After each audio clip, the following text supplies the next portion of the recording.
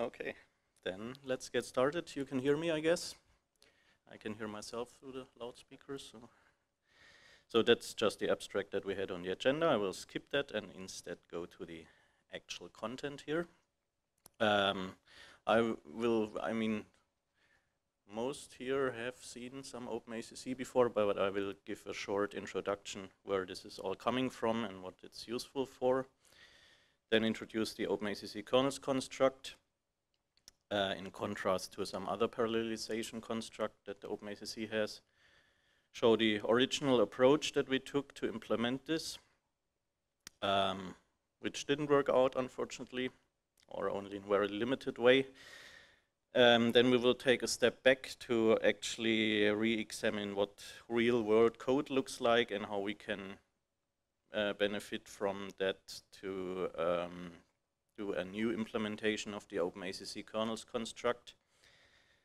And then I will show the phase one in more detail, um, the transformation steps that we have implemented, which we are in the process of getting integrated in GCC trunk.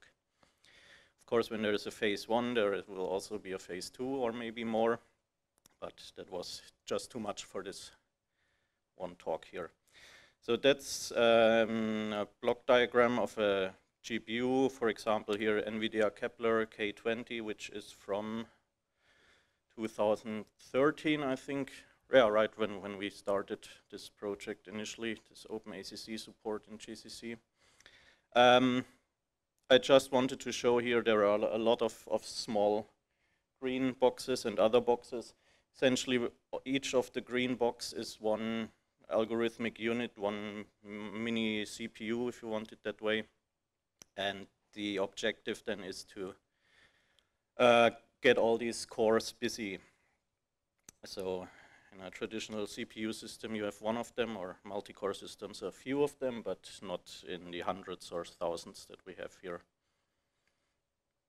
So standard example, matrix multiplication. Uh, I guess I don't have to introduce the code here. Um, we have these three levels of loops nested in each other, and uh, here we have some pointer. Um, this operation in here that uh, uh, calculates the number of, of each of the target um, uh, matrix elements. So using the OpenACC parallel construct, um, the, you would change the code as follows, for example.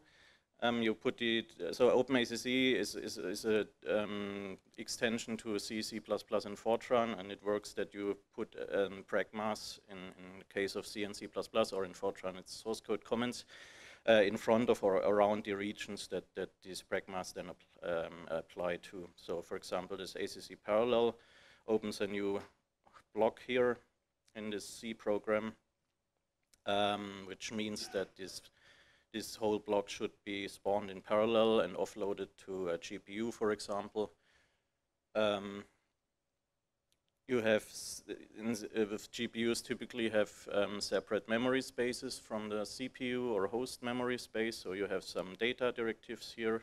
Copy in means to copy data from the host to the device, as we also call generally the offloading thing. Um, here you copy two-dimensional arrays, of course. Copy out does the obvious. Then there are more things, but that's just a simple example here. In there we have this Pragma ACC loop, gang, worker, vector. That's the three levels of parallelism that OpenACC offers.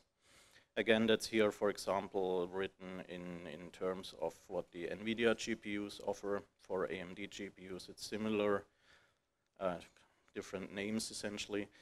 And um, also you could use that for multi-core parallelism. Gangs would map to CPU multi-cores. Workers don't exist for CPUs and vectors would be the vector instructions that you have on a CPU, for example. So that's just to illustrate how you could map these three levels of parallelism to the three nested loop constructs that we have in here, these for loop constructs. what we also need is a reduction operation on this t scalar, um, because otherwise you can't parallelize that. Um, you have a data dependence between the all the vector loop iterations that would all try to uh, add into this t variable. So you need to have a private copy of that for each of the vectors, and then at the end do your reduction operation to sum up all these private copies. So that's the OpenACC example, OpenACC parallel construct, a prescriptive construct that actually tells the compiler here, take this code and parallelize it as I describe with these pragmas. Similar, you can use um, with OpenMP target offloading. So there you have uh, target distribute would be, I think, the gang level, and then all the OpenACC, uh, OpenMP pragmas corresponding in a way. Okay, so that's the code you have to write here, and as you can see in this matrix multiplication, it's uh, uh, a lot, qu quite a lot um, pragmas that you have to add. So the standards committee for OpenACC wanted to make things simpler for the user and introduce this kernels construct, which again defines a region of the program that is to be compiled for execution on an accelerator device into a sequence of kernels. I will go in more into detail that later. right, that's the same again. Each loop nest will be a distinct kernel. La la la la. Yeah, okay, and what that tells us is that the user doesn't have to mark up loops with this OpenACC loop directive that we've seen, so you can greatly simplify the usage of OpenACC here. You just say pragma ACC kernels instead of parallel, and then you don't have to specify these ACC loop directives. Instead, um, the compiler has to figure out that stuff. For that, there is no corresponding um, pragmas in or constructs in OpenMP that may, however, change in the future. They are slowly also moving in the direction of adding such more descriptive um, constructs in comparison to the prescriptive ones that they have. Right. So that's what we then here have, have here for this matrix multiplication. And now the question is, of course, how to teach GCC to deal with that. GCC has to figure out if all these loops can be parallelized and if they should be parallelized. And uh, for, for example, you could have more deeply nested loops. That's actually a very common thing if you look into scientific codes, for example you have for i, for j, for k, for l, for m, for n, all tightly nested into each other. Right, and if loops may be parallelized, can be parallelized, that's primarily a question whether there are data dependencies between the um, individual items in the loop. Um, if there are data dependencies, there is sometimes a way to work around them, for example, by adding such a reduction operation or by otherwise restructuring the code, which of course is more complicated, requires a lot more compiler logic. That's, for example, what the Graphite framework is doing in GCC. Okay, so the original approach um, was to use the existing par loops passed in GCC which was originally implemented um, for this ftree parallelized loops flag, which um, synthesizes uh, OpenMP parallel for construct, so just to make use of the multi-core capabilities and it's guarded on the number of iterations that a loop does, so it only um, is executed that way if, if it's more than a thousand or something like that because when you spawn additional threads of course you have overhead and you only want to do that if, if it's really useful to the code. So we thought that this would be a um, useful thing to hook on um, for implementing the OpenACC kernels constructs. Of course that also needs to do the dependency analysis and transform then the sequential loops into a parallel loop. Unfortunately, uh, for reasons that I'm not explaining here this year, uh, that required some surgery where to put that past Tom will remember. Uh, okay, and in the end, we found that this can handle some of the OpenACC kernels cases, uh, but some is very limited. Um, and the reason for that is that it's not been written or implemented for the purpose that we try to use it for because it was just meant to be used for one level loops and not for nested gang worker vector level loops, for example. Yeah, but anyway, it was a start. Um, so, and then the question is what to do when at compile time this par loops pass figures out that it cannot parallelize some code, it doesn't understand the code. You could have the idea of raising a compile time error. Um, the reason being that the user, in a way, wanted code to be parallelized, but we can't. But on the other hand, you don't want to do that because compile time errors are for things where the, uh, where the user um, has written incorrect code and the incorrect code is the, the, code is not incorrect, just the compiler doesn't understand how to parallelize it, so that doesn't make too much sense. The alter, other alternative, when you can't parallelize something, you run it as a single-threaded GPU kernel, one gang, one worker, one vector. That's actually acceptable if there's not much computation going on in that kernel, so if it's just initialization of scalars, for example. However, uh, it's really bad for performance if this is a compute-intense kernel or loop nest, because then, of course, if we launch this as a single-threaded GPU kernel, we're not using any parallelism that the um, hardware offers. And single-threaded GPU code is really slow because these uh, GPUs are not written for that kind of workload. They are really uh, written hardware description language, maybe. Uh, they are not meant to be used for such uh, code. Okay, then the other thing we can do is to just not offload this kernel computation and instead use the CPU.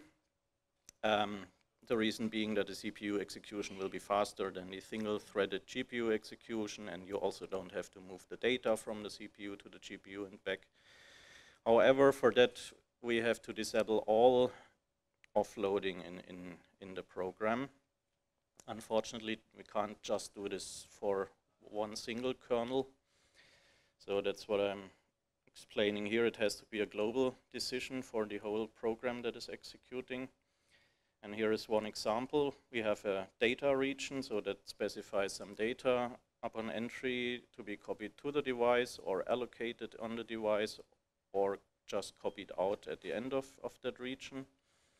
We have a parallel construct, parallel loop here that computes some value b or some array b um, with input array A.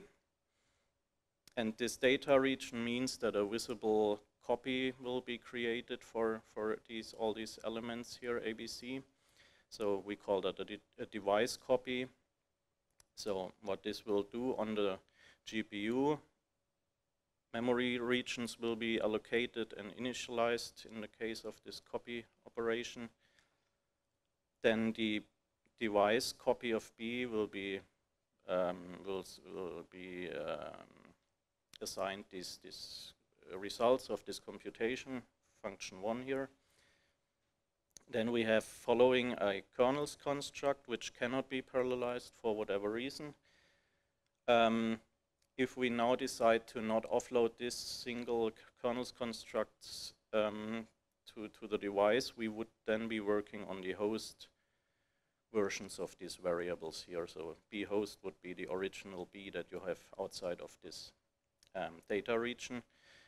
And of course, that doesn't correspond to the device copy which has been um, assigned here. So you have a mismatch here between the data that you use and same way in the next computation, which again can be offloaded and intends to use the C that has been computed on the device, but that has never been set because that was executing on the host. So that doesn't work. That's why the reason this, this avoid offloading stuff has to be a global thing. Then all these computations would run on on the host on the CPU instead of being offloaded. That's of course not ideal because we want to offload stuff to GPU or other accelerator device. Of course, if we had much more compiler magic that could track these data dependencies, then maybe we could work around that and insert some update here to copy the device to the host copy of B and so on. But okay, so that mechanism has not seen very much sympathy from other GCC developers and that exists in our development branch only. On the other hand, also it's expected to become obsolete at some point um, once we can, in fact, parallelize and handle all common OpenACC kernels code. So that's why we're not spending a lot of effort on getting that into GCC trunk. Instead, we want to improve the kernels code in trunk so that this mechanism becomes obsolete. Okay, then back to the, or onwards to the OpenACC kernels rework. GCC has a reasonable implementation of the OpenACC parallel construct, the prescriptive construct, which this nested loop constructs that I've shown in this matrix multiplication example at gang worker vector level. Of course, there's still a lot of things to be improved, but you can get useful performance out of that. And then the idea instead of having the par loops pass do its own thing, the idea then is to instead um, map the OpenACC kernels loops onto that good OpenACC parallel loop implementation. So in motivation, one step back that I mentioned, par loops tries to handle arbitrary code, so it really looks into the sequence of instructions and tries to figure out where there are loops and whether it can parallelize something, what it, how, how it needs to transform the code.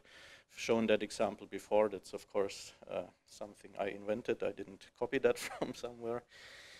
Uh, but that's, so it's not surprising that this cannot be parallelized. Uh, I'm not blaming parloops for that. um, but on the other hand, real world code doesn't look like that. Real world code looks like that. That's from some weather simulation, if I remember right. So you have a ACC, and that's Fortran, if somebody has not seen that. Uh, some ACC kernels construct directly nested in that ACC loop independent. Then your do loop in Fortran, some conditional stuff. Then you have nested an ACC loop independent vector and another ACC loop independent vector. What that means, I don't know exactly, but that's separate discussion. And then all that's the do loop here and this do loop here and this do loop here is missing the end do, but then that ends and that ends the whole kernels region. So that's like the uh, perfect thing for us to parallelize. Um, you have this kernel thing and just nested loops inside of it that uh, you can guess independent means that the user tells the implementation that all the loop iterations are independent. That means you don't even have to do any um, data dependence analysis, stuff like that. Another example, some C code, pragma ACC kernels loop, gang vector, and just this simple for loop, where even par loops should be figure out that there are no data dependencies between these loop iterations because they all work on just the J index. So we've seen this, this independent clause. I briefly introduced that. Um, there are other clauses that can appear on the loop construct, uh, seq, meaning sequential.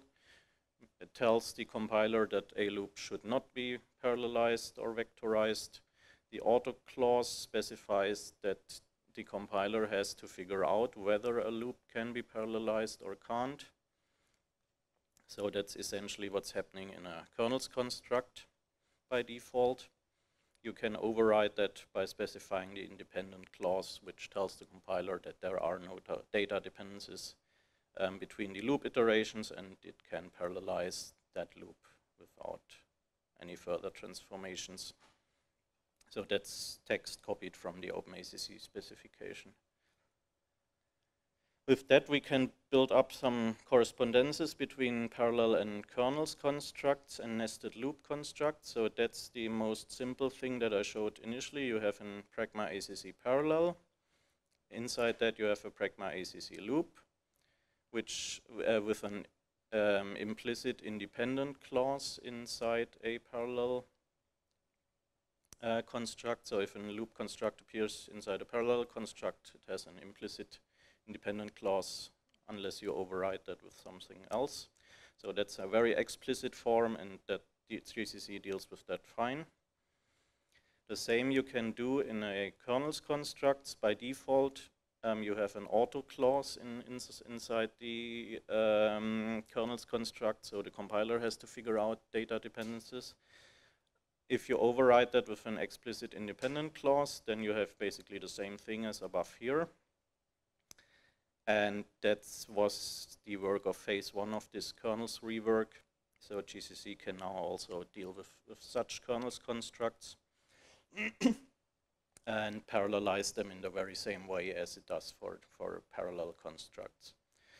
On the other hand, inside a kernel's constructs, you can leave away all this pragma ACC loop things, as I have mentioned. The compiler then has to figure out that.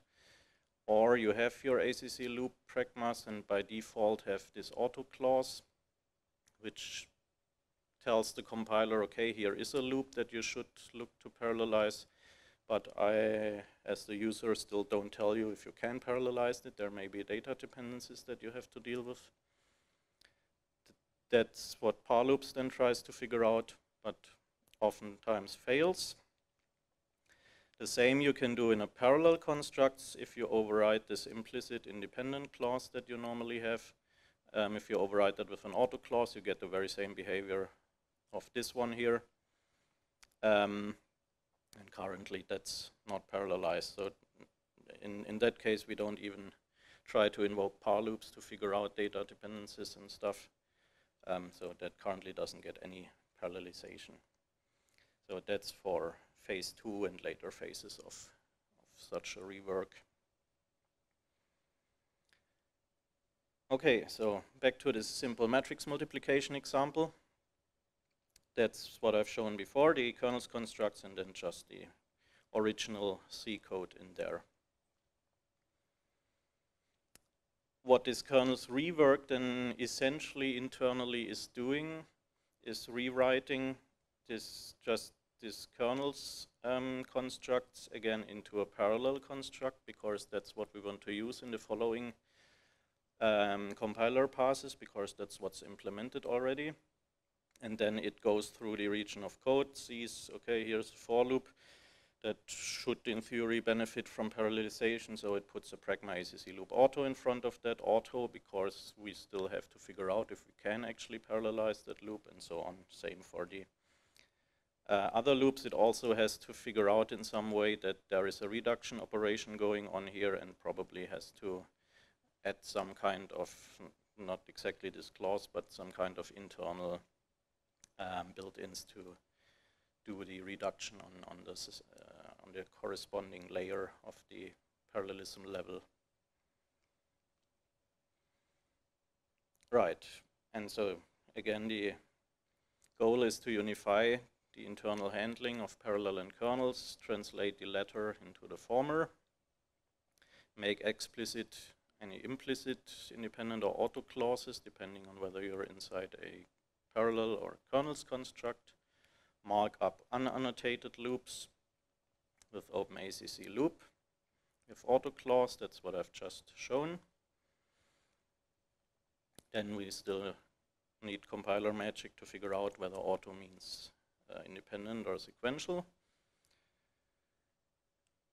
or if we actually have to transform the code in any way to resolve data dependencies by doing some polyhedral transformations, whatever, or by synthesizing reduction clauses or privatizing values. But all that we need to do anyway if we um, eventually want to implement the auto clause for the loop constructs inside a parallel construct which currently just maps to sequential execution. Okay, so then in more detail, what's happening in, in, in this phase one work. Change the lowering in the compiler so that kernels are lowered in the same way as parallel constructs.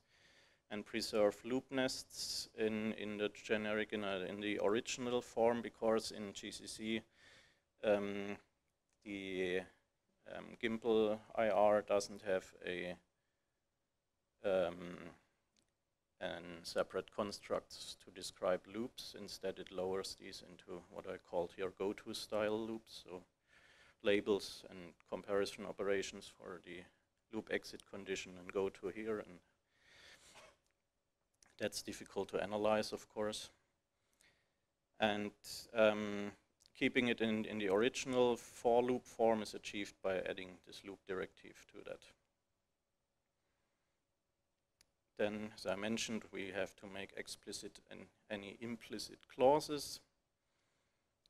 Loops with sequential clause are easy to deal with because they don't need to be parallelized and don't need to be analyzed. Independent also is easy because there the user tells the implementation that um, the loop iterations are independent and as mentioned auto clause is a bit more difficult so that will persist in the through the compiler process until we get to some point where we can figure out the loop um, iterations, whether they are data dependent or not, or form code in some way.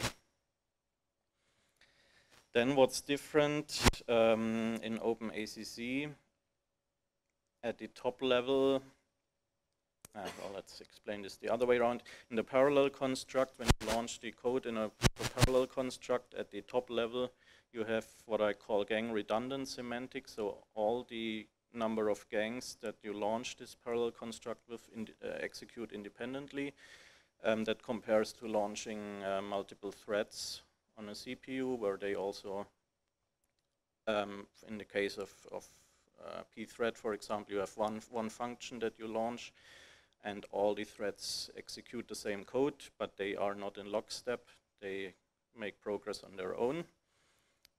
In contrast, in the kernel's constructs, you have the semantics, um, what I called gang single. So from the user's point of view, uh, you can't see that there are several threads executing. So that semantics has to be preserved. And then that's what was described in the uh, standard that I uh, quoted earlier, um, the OpenACC kernels re region typically contains several loop nests and also sequential code. All these loop nests can benefit from diff different launch geometries, so the number of gangs, number of workers, number of vectors, vector length. Uh, sequential code obviously has to be launched with one gang, one worker, one vector. But what we need to do is synchronizing after um, when you have, ah, I have an example coming up that's easier to explain here, right, okay. So on the left-hand side is the original ACC kernels code, and on the right-hand side is what the compiler translates that into. We have here uh, some serial initialization code, then we have a nested loop, which conveniently is all mapped up with loop independent. And then we again have some serial code, and then we have another um, independent loop. But that one, for example, is just one level, and here we have three levels. Compiler would then split this up um, to launch this first serial code section as a single-threaded GPU kernel then launch the next kernel for this nested loop constructs here.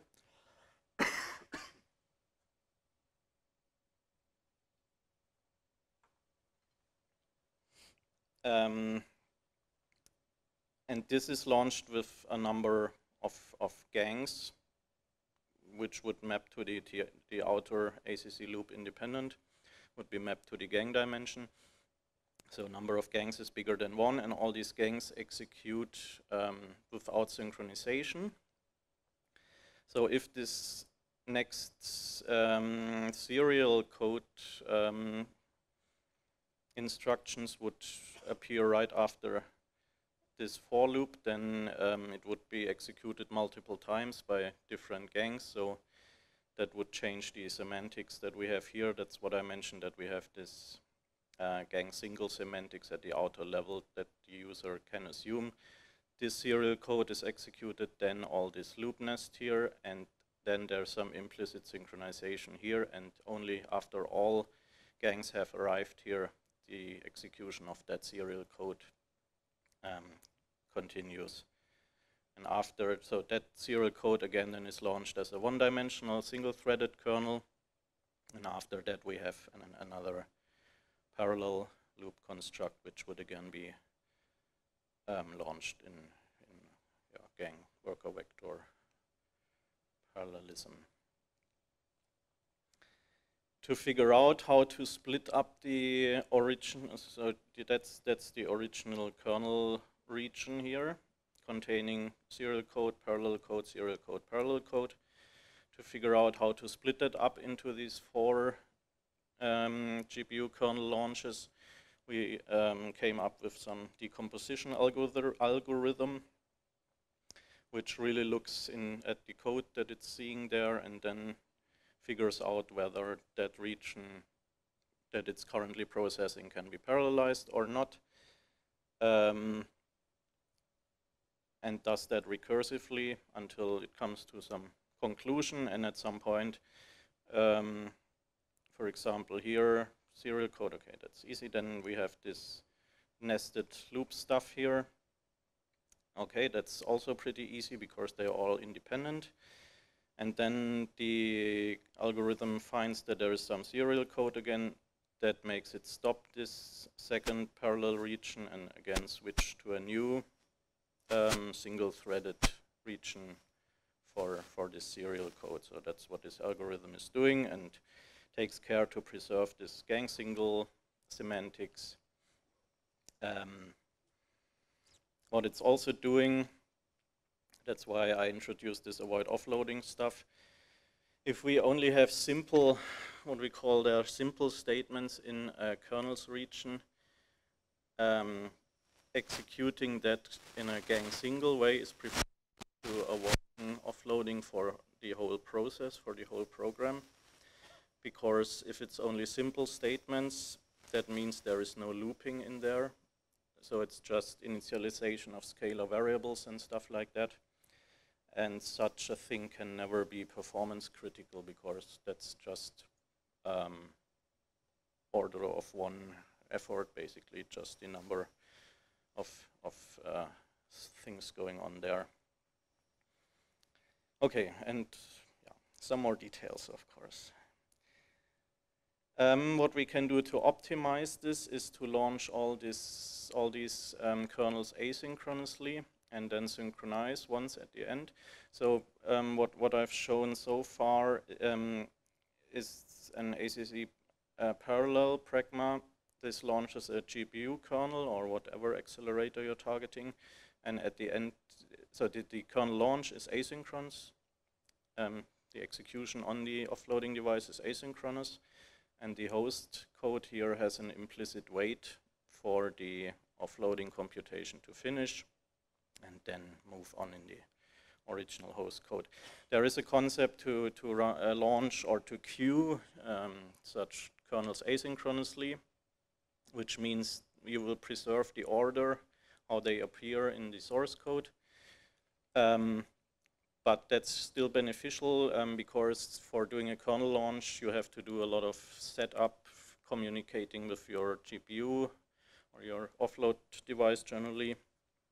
And while the host, the CPU is waiting for this um, first kernel to finish with this implicit wait down here, it can make better use of its time and already prepare the launch of the following kernels.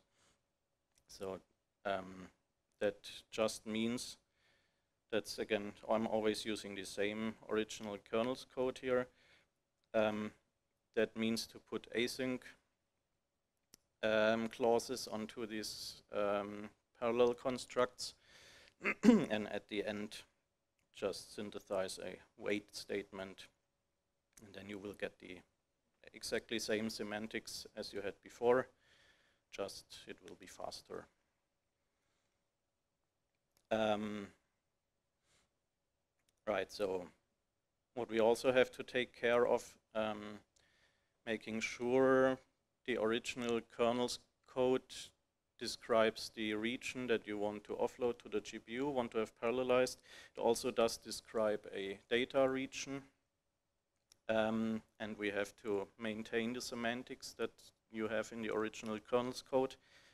Um, so what we have to do here, for example, here I changed the serial code with some actual simple code. You have implicit copy clauses in, in the kernel's constructs if these are scalars.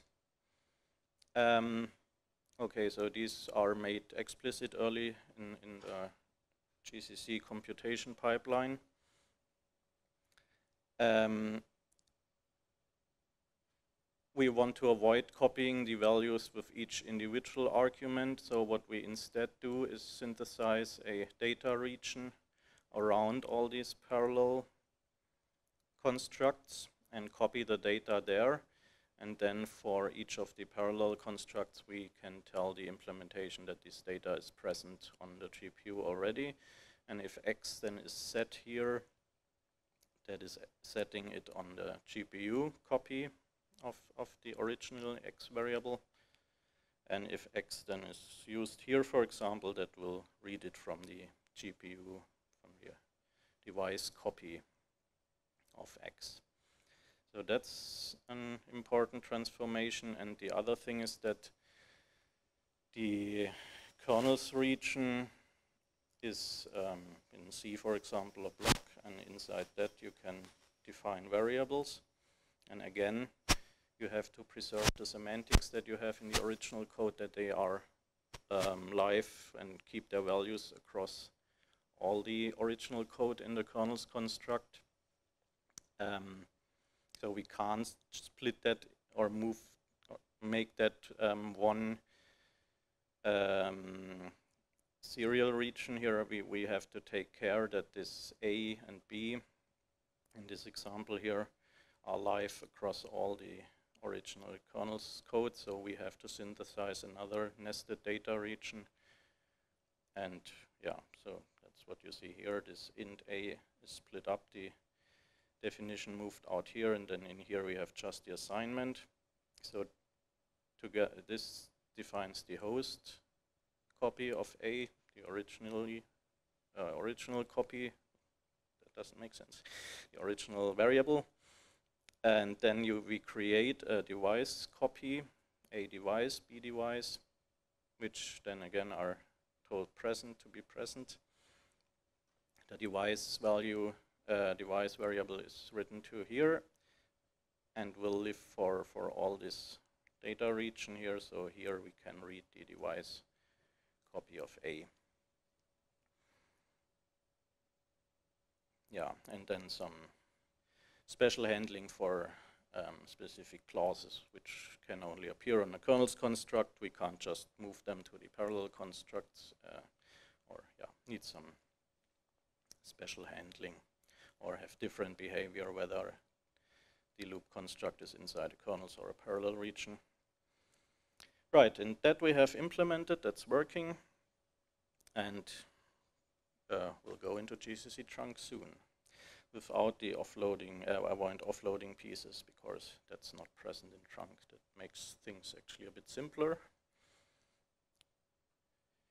So, status of this rework phase one um, if we have top level, to, uh, top level meaning in, in the kernels region, top level, uh, loop constructs with independent clause, that gets parallelized now, that didn't happen before, so that's the big change here. If we have loop constructs with an explicit sequential clause, that cannot be performance critical because the user explicitly tells the implementation that something should not be parallelized, so that's fine to execute single threaded. If we have non-looping serial code, what I earlier called simple code, I think, that's also not performance critical. That's, for example, just this initialization set variable a to 1 and stuff like that. Even a GPU can deal with such things. As long as it's not looping, it can't be performance critical. So that's also fine to execute single-threaded. And for everything else, we still need parloops or still currently use parloops to decide whether something can be transformed into a parallel execution or not. And that's primarily then loops that don't have OpenACC loop directives with independent or sequential clauses. So basically loop, ah, okay, that's here loops that are not even marked up with an OpenACC loop directive or loops that have an, an auto clause. And that's what is phase one meant to achieve, unify the handling in, in the compiler to map, map um, kernels constructs onto the existing parallel support split up these regions, as I explained, translate the loop constructs, set up data regions and all that stuff. And that's it. Thanks for listening and any questions? Nathan. That's uh, in discussion still. Um, so I guess you, of course, understand the ideas what's still missing and exactly when that's happening and how. Um, I can't talk about that, unfortunately.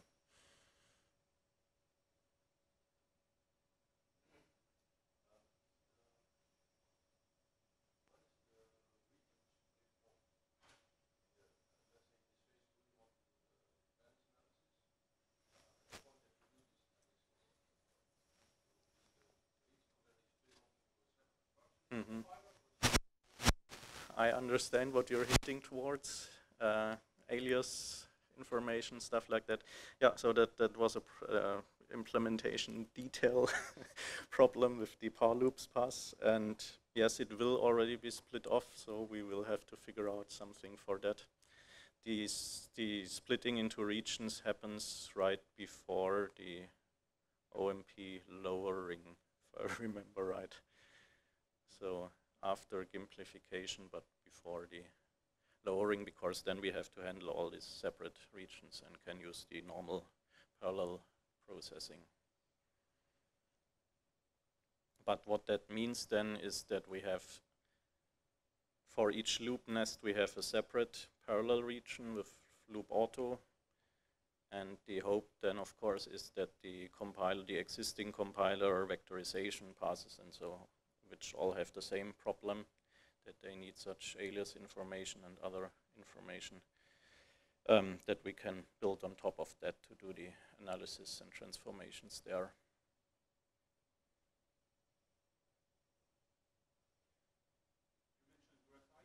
Yeah.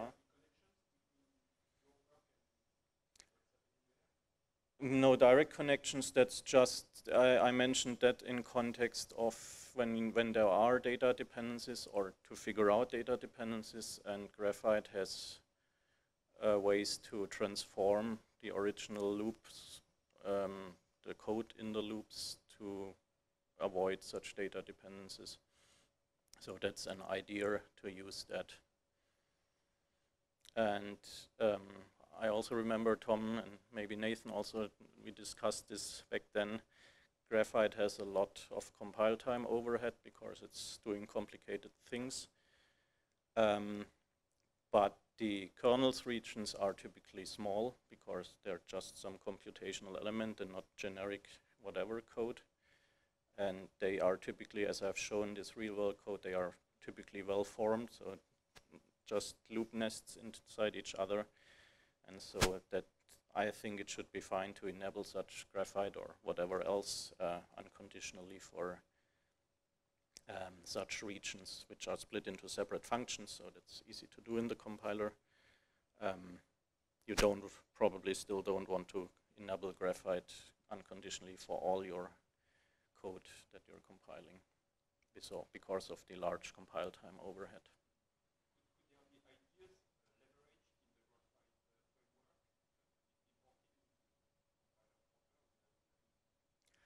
I'm no expert on that, so May, yeah, I guess yes. Can always import some ideas from elsewhere.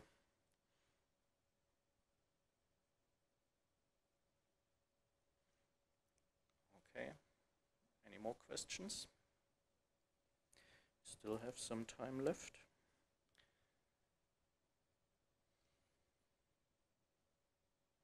Then that's it, I guess. Or?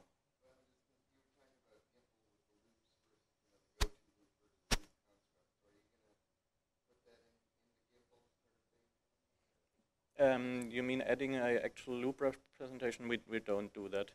Well, in a way, it exists um, because the that's coming from OpenMP, which we built on with this OpenACC stuff, that has a tree code um, omp loop, I think.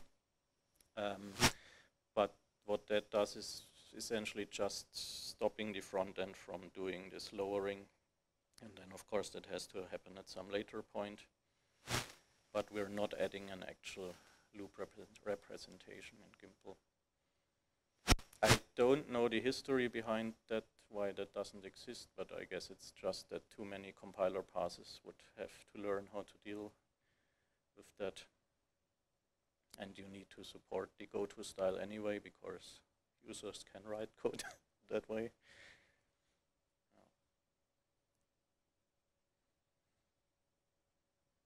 Okay, then thank you again.